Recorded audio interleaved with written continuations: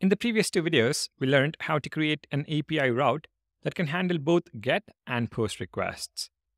The next step is to understand how to handle patch and delete requests. A patch or delete request, though, is slightly different in the sense that you need to specify the ID of the comment you're updating or deleting. While slash API slash comments route will handle both GET and POST requests, for a patch or delete request, our API endpoint will be slash API slash comments slash comment ID, where comment ID is a dynamic segment.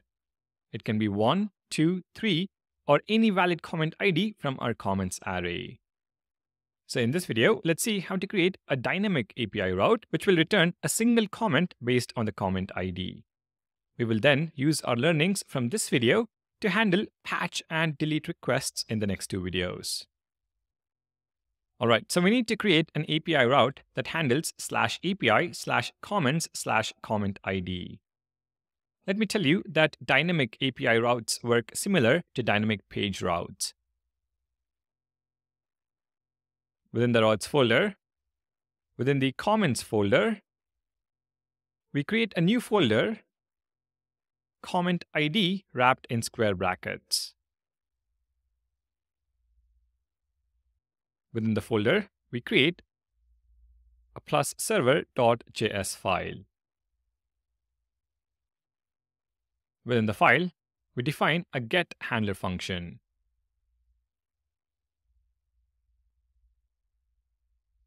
From within this function, we need to return a single comment whose ID matches the comment ID route parameter.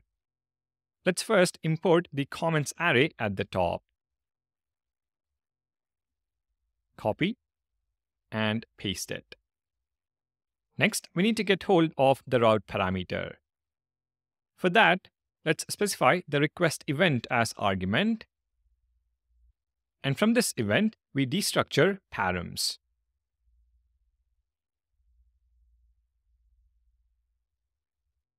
From params, we destructure comment ID, which is the folder name.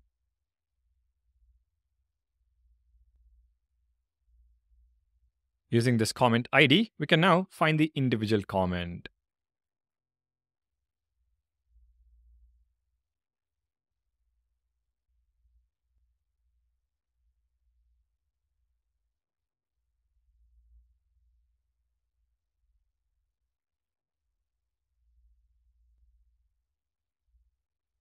Once we have the comment, we respond with that in JSON format. So import JSON from SvelteKit and then return JSON passing in comment. Now I will switch over to Thunder client where we are making the GET request. To the URL, I'm going to append slash 1 where 1 is the comment ID.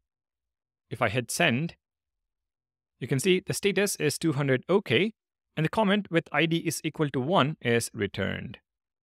Change to slash 2, and we get back the second comment.